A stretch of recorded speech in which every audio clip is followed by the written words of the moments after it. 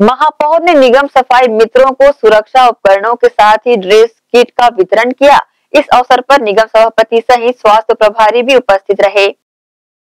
नगर पालिका निगम महापौर धीरज बाकलीवाल ने निगम परिसर में सफ़ाई मित्रों को सुरक्षा उपकरण और ड्रेस किट वितरण किया। डोर टू डोर अपशिष्ट संग्रहण कार्य में अपनी सेवाएँ देने वाले निगम परिसर में एमसीसी सफ़ाई मित्रों को साड़ी एप्रॉन दास्ताना, जूता मोजा, आई कार्ड, रेनकोट, टोपी, मास्क, गम्बूट, वर्दी, पाँच सौ बयासी एमसीसी कर्मचारी, छह सौ अस्सी प्लेसमेंट सफ़ाई कर्मचारी, स्वास्थ्य विभाग मित्र को सुरक्षा उपकरण एवं रेड्स किट का वितरण किया गया। इस अवसर पर महापौर धीरज बागलीवाल ने निगम के सफ़ाई कार्यों एवं शहर की स्वच्छता में सफ़ाई मित्रों की अति महत्वपूर्ण भूमिका की सराहना की। दुर्ग निगम मिशन क्लीन सिटी के तहत संपूर्ण निगम क्षेत्र में डोर टू डोर अपशिष्ट संग्रहण का कार्य करा रहा है। इस कार्य में एमसीसी के पाँच सौ बयासी व स्वास्थ्य विभाग के 680 प्लेसमेंट सफ़ाई मित्र अपनी सेवाएँ प्रदान कर रहे हैं, जो घर घर पहुंचकर घरों व दुकानों से सूखा व गीला कचरा संग्रहण करते हैं।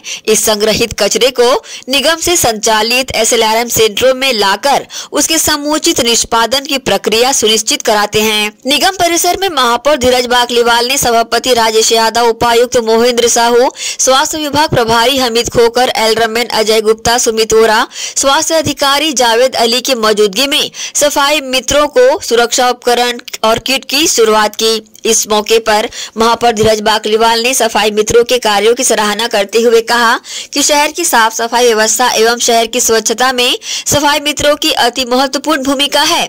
मैं सफ़ाई मित्रों की इस महत्वपूर्ण भूमिका के लिए सराहना करता हूँ।